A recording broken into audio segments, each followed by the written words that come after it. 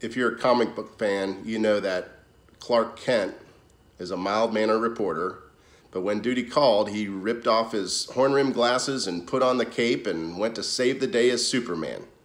Well, USF has a program that's identifying supermen and women. It's called UMatter. You Matter is a collegiate residential program especially designed for neurodiverse students.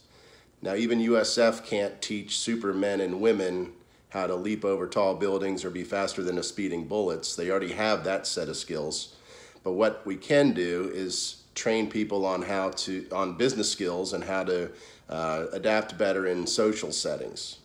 Now, I don't know if any of the UMatter students are faster than speeding bullets or can leap over tall buildings with a single bound, but I do know many of them come with an innate ability to focus, a focus that's superhuman to most of us, that can easily be translated into software testing that uh, is tireless and relentless until all the bugs are worked out of a system, who can do inventory control maybe without a computer system and I'm sure there are countless other examples of jobs and roles in companies that can utilize this special set of superhuman skills.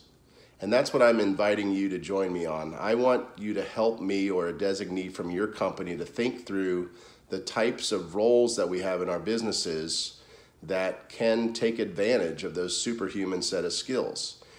We can look for internship opportunities and perhaps permanent placements for graduates of this program, of the, of the USF UMatter program. And right now, as a business community, we can come together to figure out what those roles that we always wish we had could be. Please join me over the next few weeks as we think through this, as we brainstorm together, as we influence the curriculum at the university, and we take advantage of this gem of the population of diversity that's put into our midst. Thanks.